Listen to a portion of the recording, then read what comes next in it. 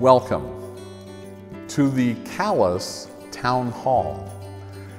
I'm David Schutz, the state curator, and we're going to be talking about the architecture of democracy, a talk, Temples of Democracy in Vermont.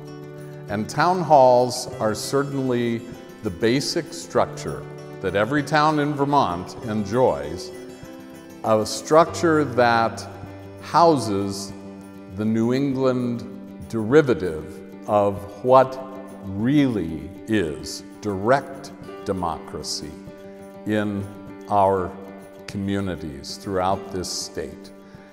Nothing more than town meeting itself is an institution that we cherish. It's been threatened in more recent years but it's an institution that persists. And in many towns, there actually are, is a resurgence going on in terms of using old town halls um, and having town meeting mean something again in terms of bringing the community together to make the decisions that they need to make for yet another year of operations at town meeting. Town meeting, as it's practiced in Vermont, is a gathering of local citizens who cast their votes individually with discussion beforehand on all the matters that pertain to the town. How to spend their tax money, whether to buy a new fire truck or fix the old one, support the school budget, put a new furnace in the town hall elect town officials, or pass a resolution that reflects the will of the majority of the town's voters. As such, it is a legislative body and the purest form of democracy whose roots go back to Athens in 400 BC. At least 6,000 citizens were required to achieve a quorum in Athens, but women and slaves were not able to vote. In town meeting governments, no elected representatives intervene between the citizen and what the government says or how it acts. In other words, no representatives, no ringers, no lobbyists, no party line discipline, no red tape or compromise. The individual's vote. The first town meeting to occur in New England occurred in Massachusetts in 1633, and in Vermont it was held in Bennington in 1762. And throughout Vermont since that year, town meetings have become the most direct democracy that any citizen exercises in their own governance, their democratic governance. I live in Calais, so this town hall is actually my town hall, and it has been stuffed with people um, to overflowing in all of the years that I've lived here until the last five, when we finally had to admit that the building had to undergo a major renovation. And since that time, we've held our town meeting at the local elementary school. But our hope is, as we wrap up the renovation of this old town hall, that we will begin to use it again in the way that communities throughout Vermont have embraced their town halls. Um, they tend to look, in many cases, like churches. And this one actually was a condominium arrangement in 1866 when it was built as the home of the Christian church up here and downstairs the town hall. And it was built with that condominium arrangement from the outset. What happened to the Christian church is that it eventually faded away, and the town took over the entire building, although the Ladies' Home Mission continued to care for the building and, in fact, served the wonderful lunches that accompany any good town meeting. There's a certain feeling in a town hall in it that is being used on town meeting day. The chairs are uncomfortable, the temperature too hot or cold, and it may be too crowded. But there's a real satisfaction in being in a room as the people of a town shape their own government. There's the opportunity to vote or express your views to discuss opinions with neighbors in private or on the floor, to partake of a lunch, and to be part of the most important town gathering of the entire year. What I read uh, from the rostrum came from a wonderful book that Peter Miller put together that celebrates Vermont's gathering places. It's all about the communities that we so enjoy in this state. And the architecture of town halls has so much to do with putting people together in a common cause and simply being able to socialize. Now, I say this at a time when town halls throughout the state and state houses are closed to the public because of the pandemic. And the socializing that we used to take so for granted, and the ability to be with one another, whether it's to further the business of our community or simply to gather socially and have fun, is in peril right now. But all of us believe that we are coming to a point when we will be able to regain what we have lost during these recent months.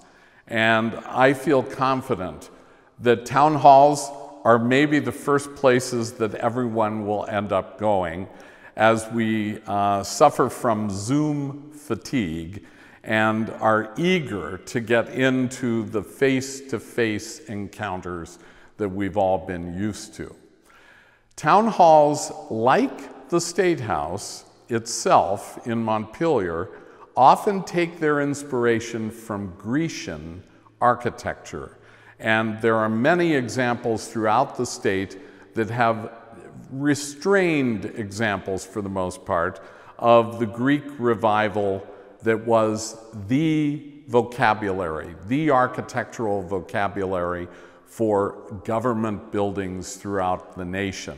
We'll talk more about that at the State House, but the wonderful porticos that many town halls actually enjoy, um, as well as the towers, steeples, cupolas that cause them to be noticed above uh, any other structure in town, is not an accident. This is where government takes place, and consequently, the authority, the majesty, if you will, of such structures is very intentional. It's all about envisioning that building as invested with the people's authority, shared among the community, but manifest in the building itself. So here we are.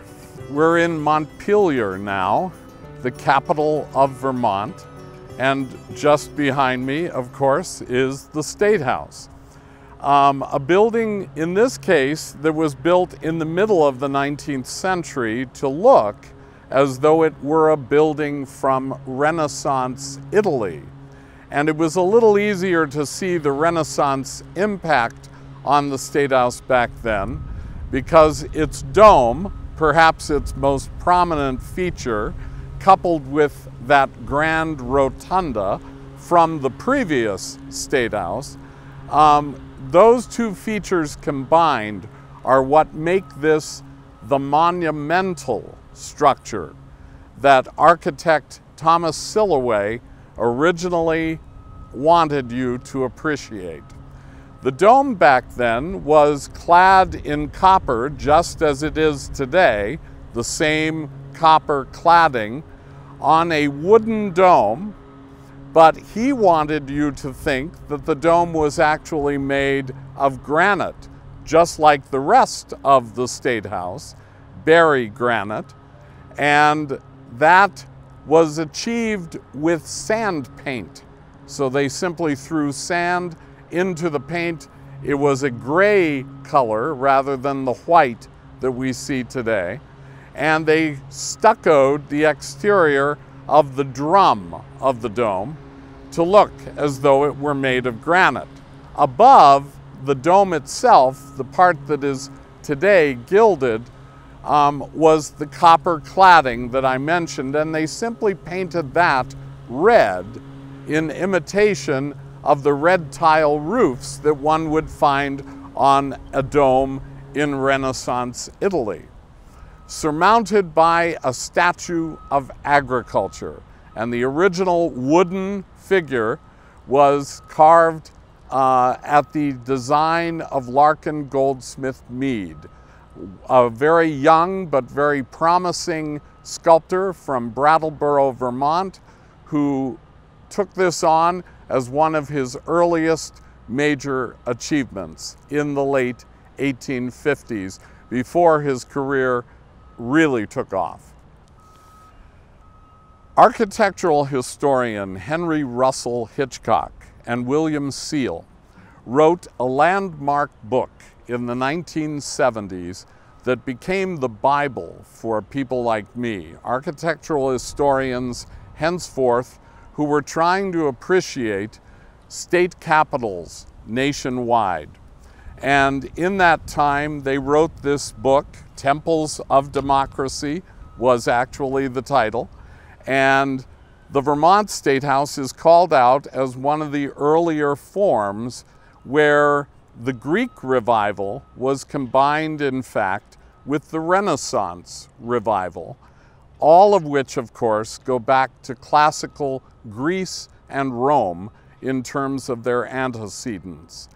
The two people who took it from there in terms of developing state capital architecture were Thomas Jefferson, who was a huge fan of the architecture of ancient Greece and Rome, what he called the structures from antiquity, and Charles Bulfinch, who popularized domes being used on state capitol buildings.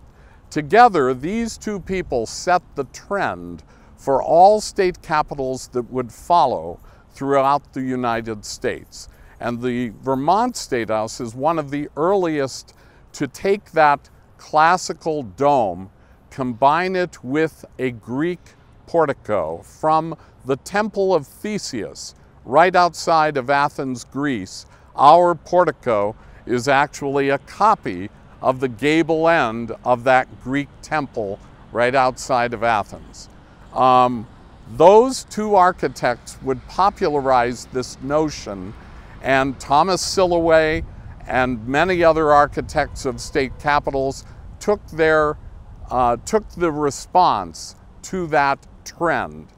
Thomas Silloway, in fact, um, was following Ammi Young, who was the architect of the second State House, the previous one that developed our, our portico.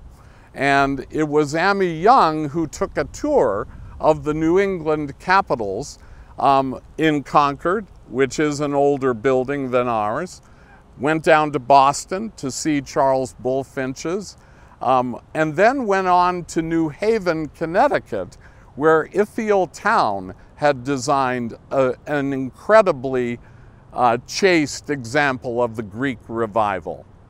Came back to Montpelier and designed his with a low saucer shaped Roman dome surmounting the Greek temple. And it was a remarkably chaste and heralded building when it was completed here on State Street, which for the first time was taking the traffic of Montpelier in the 1830s and transferring it from nearby Court Street to this new broad avenue that they were laying out in Montpelier for the grandeur of the State House that was behind me. That building, however, went up in flames in 1857, completely destroyed by a catastrophic fire, leaving only the granite walls in its wake. And it was in the months of 1857, following the fire, that Thomas Silloway was brought up from Boston to begin to consult with Vermont legislators about what would replace it. There was a debate as to whether Montpelier should remain as the capital, but beyond that debate, they moved on quickly to the realization that the whole State House would have to be replaced, with the exception of the portico, which he then rebuilt and added a larger State House behind it, finished off in this newly popular Renaissance revival architecture, looking instead to Renaissance Italy, which of course looked back to ancient Greece and Rome for their inspiration back in the 15th and 16th centuries. We're on the portico of the State House, and the portico of the State House is that last vestige of Ammi Young's Greek Revival State House from the 1830s. Behind me are these enormous granite columns with sections of granite laid upon sections and attenuating very briefly up to the top of the portico, which has this very impressive plaster ceiling that, like the drum of the dome, was painted with sand paint to give it the texture of granite and the look, and we still have that original plaster ceiling of sunken coffers, um, newly restored in recent years.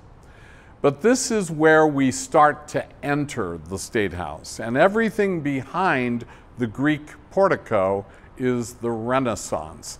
And this State House is a lot more ornamental than its predecessor, which was the height of simplicity. Here we're met with doors that are made of wood, and yet they're painted to look like bronze, the way you would find them in Renaissance Italy. And everything on these doors is made of wood, and yet they're incredibly carved um, to look, in many cases, like the double sunk coffers of plaster that you will see inside the State House as well. All of this is about grandeur.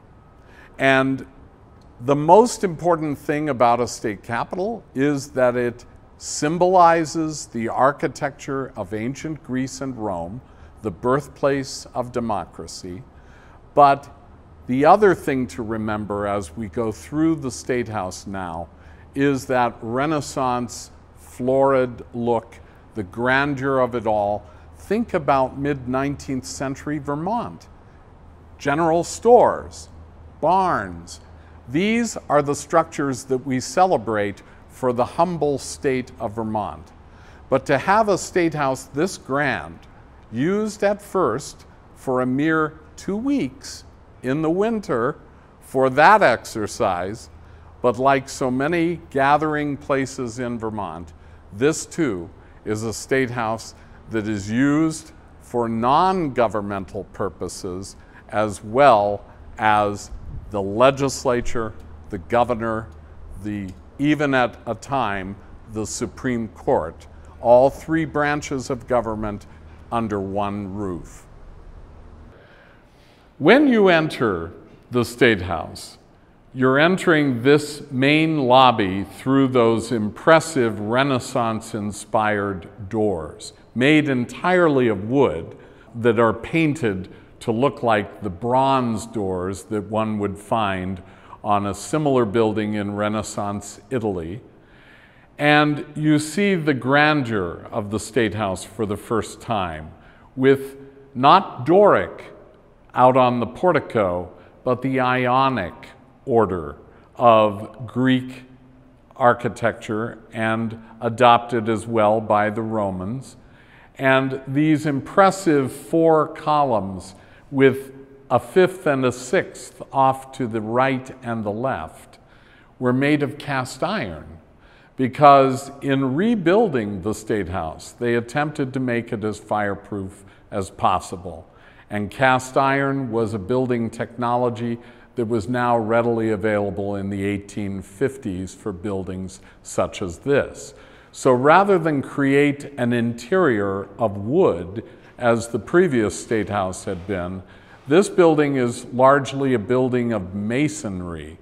Granite walls on the outside, brick walls on the inside, with the help of a lot of cast iron as well.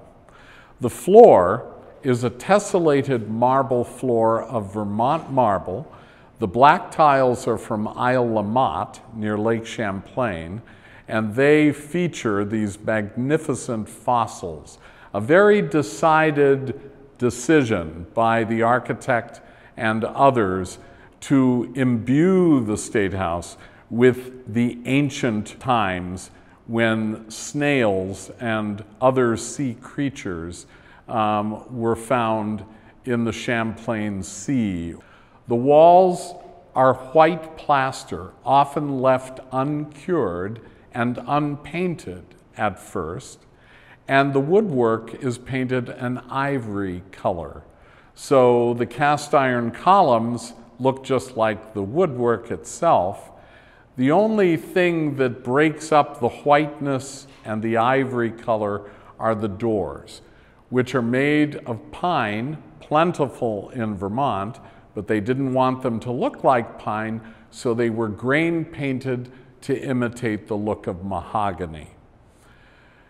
Throughout this lobby, we begin to tell stories to our visitors here at the State House. And one of the stories that you see featured here are the presidents of the United States who come from Vermont. Calvin Coolidge to my right, Chester Arthur to my left. We have managed to restore the missing pieces throughout the lobby, um, such as drapes, but the plaster ceiling is indicative of the kinds of classical revival ceilings that one would find. Um, egg and dart molding in double sunk coffers. Behind me, in this long hallway that is directly beneath the house chamber, is a magnificent bust done by Larkin Goldsmith Mead, the great sculptor from Brattleboro, Vermont, who won the competition to do Lincoln's tomb in Springfield, Illinois. And we believe that he did this marble bust in his studio in Florence, Italy, uh, as in preparation for the magnificent bronze statue of Lincoln that is on the monument that he designed to Lincoln in his hometown. For the past two years, the curatorial task force has worked with my office to begin to look at the State House with fresh eyes and to understand what are the central stories that the building currently tells and should continue to tell, but what are the stories that will ensure that all Vermonters feel connected to this building? That has been our critical charge for the last couple years, and happily, in the last legislative session, Senator Ruth Hardy introduced a bill that is now allowing us to hire a consultant to help us with the exercise of creating an entirely new interpretive plan for the State House. We have, in previous years, we've managed to find uh, storytelling that connects the Abenakis as Vermont's indigenous people to the State House in one stairway.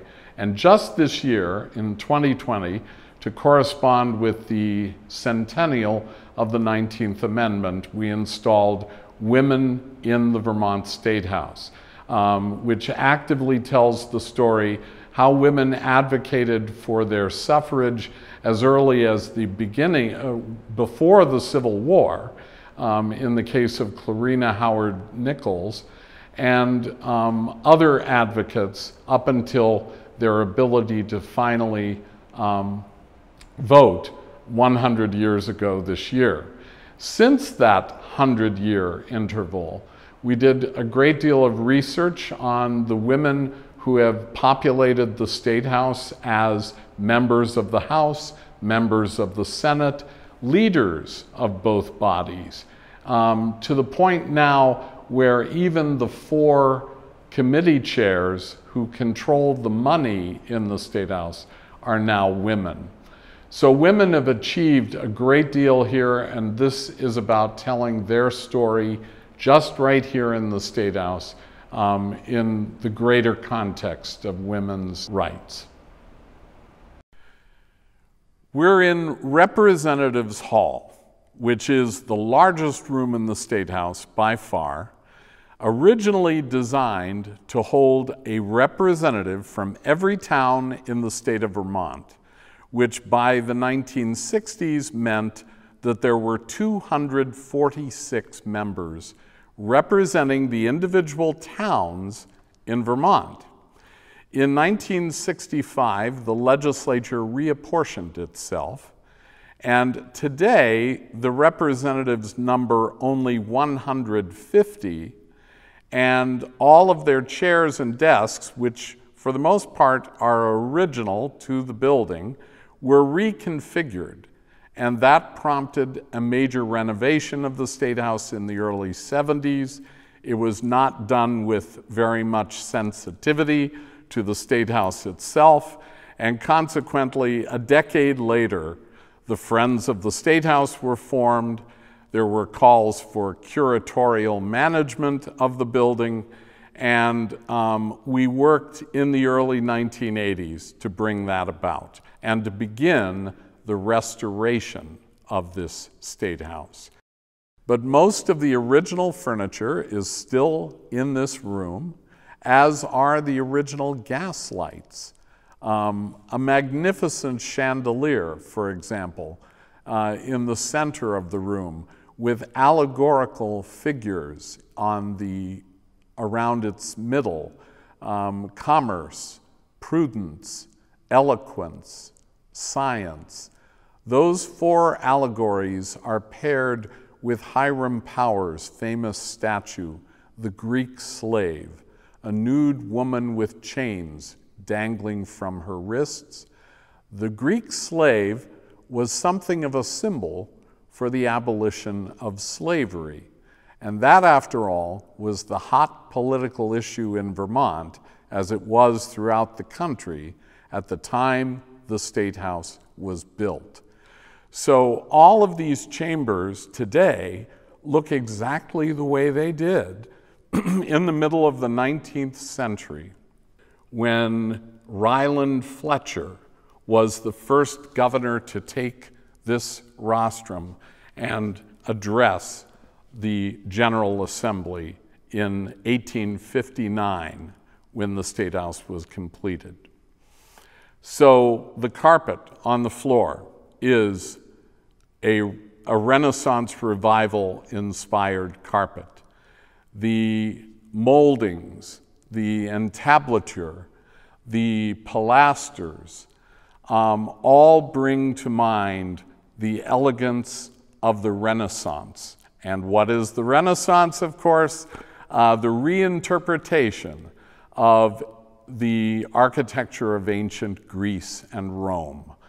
The classical places that inspired what by the 19th century they simply called antiquity or the, the antique, the Italian antique. And this room brings to mind a chamber that was used in 1859 for a mere two weeks of legislative activity. Two weeks out of the entire year devoted to legislating in this chamber. So, this is a chamber that saw the traditional uses of any prominent building in a town in Montpelier. Once you have a state house, um, you use it, it turns out, in surprisingly similar ways to town halls.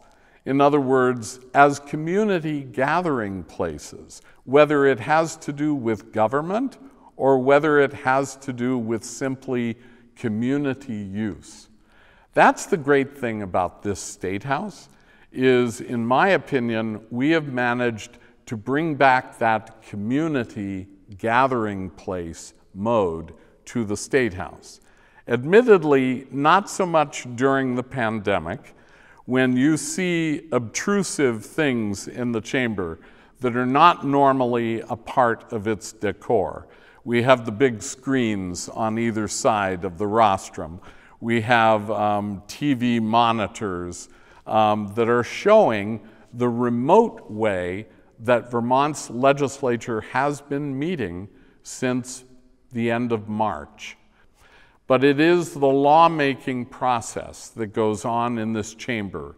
Presiding officer, the Speaker of the House, who stands at the rostrum behind me and makes many of the critical leadership decisions, including committee assignments and so on, that allow Vermont's legislature to use this chamber to debate the issues of the day and to make law for the state of Vermont.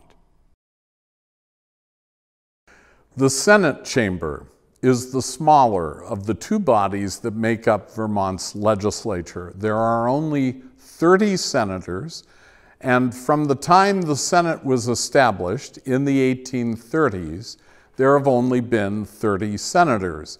However, the number of senators who represent each county district tends to vary depending on the population of Vermont at a given time. And, but currently, they sit in these chairs um, according to the delegation that they represent here in the Senate. And the presiding officer is Vermont's lieutenant governor or the president pro tem of the Senate, two key leaders that make up the Committee on Committees, which does all of the work that the Speaker of the House does in the House in terms of assigning senators to committees and covering the same territory as all of the committees in the House. Now, there are only 30 of them, so they have to serve on at least two committees, a morning committee and, a, and an afternoon committee, in order to cover all of the territory that the House also covers in terms of looking at bills and determining whether they will become law for the state of Vermont. This chamber is a beautiful one, a much more intimate chamber than the House chamber. The red color scheme that has always been in the House gives way, in this case, to a green color scheme. And yet, this chamber is almost entirely untampered with in terms of its overall preservation. Right now, this chamber not only looks exactly the way it did in 1859 with the original furniture, all of the original gas lights as well, including an elaborate gas chandelier by Cornelius and Baker that has a water theme with cherubs riding seahorses um, and figures of Neptune, the god of the sea, on the upper tier. All done in the Renaissance Revival style, the overall architectural style of the State House itself. So, in here as well, we have the galleries and the pilasters. In this case, no pilasters, full blown columns that are fluted with Corinthian capitals and Corinthian ca- uh, entablature um, and the dentelated cornice. But unlike the D shape of the house chamber, this chamber enjoys a completely oval ceiling overhead that is concave and gives the grandeur that the chamber needs, but at the same time makes the room incredibly intimate. In here, debates that are used with microphones in the House chamber are uh, completely conversational in tone in this room, and uh, very little seating for spectators compared to the House, with lower and upper galleries and window seats providing the seating for visitors. If you're of a certain temperament and you feel that you want to be on display in the Senate chamber, you actually can march across the chamber and take a seat in one of these elegant sofas in the front. But you do have to know that the senators will be looking at you and probably wondering who exactly you are uh, to have chosen a seat like that in this grand chamber. The details that needed to be restored to this chamber, besides the details of having all of the original furniture and gas lights, are the things that inevitably wear out over time. The ephemeral carpets, drapes, upholstery, all of that is ever changing as the use of the State House has taken place over the past 160 years. So today, the carpet is a beautiful Renaissance revival inspired design, very geometric, but also very floral.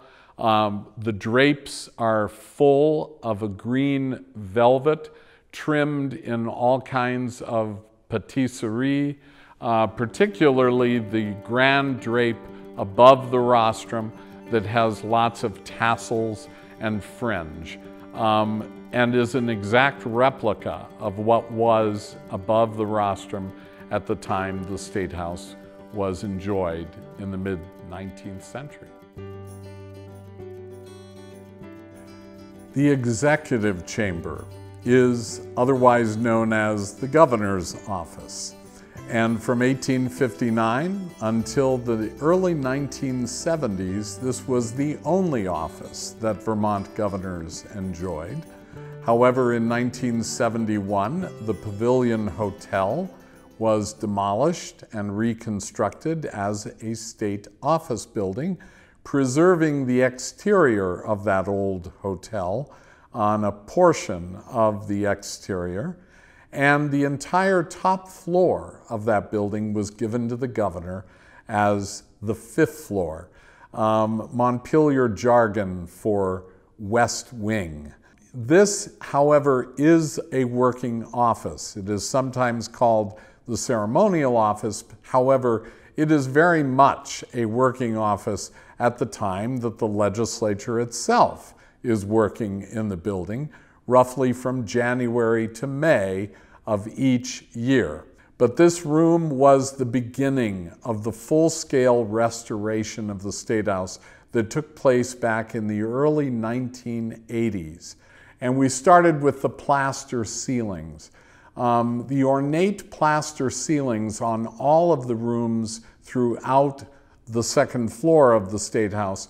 So, this is an excellent example where much of the ornate plaster had already been removed and was restored to the chamber, including the openwork cornice of oak leaves and acorns.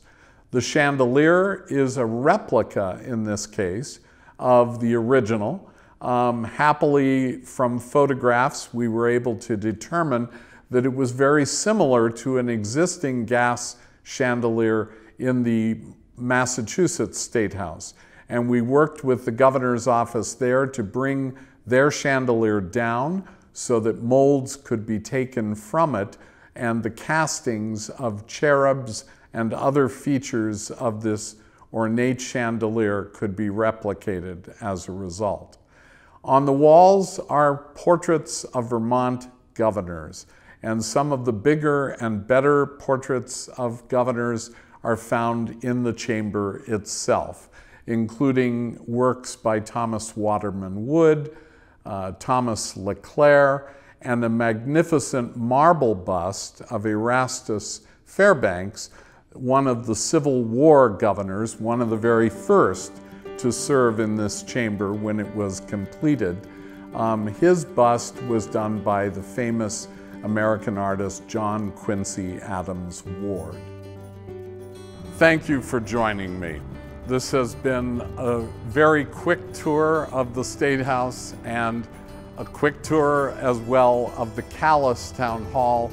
I'm glad you could join me at this time in our history when democracy is being celebrated in all kinds of ways. And it's the Vermont Humanities that bring us these remarkable programs throughout the fall. I hope you'll go to the website to see the many offerings that follow this one um, on their website, vermonthumanities.org. Thank you.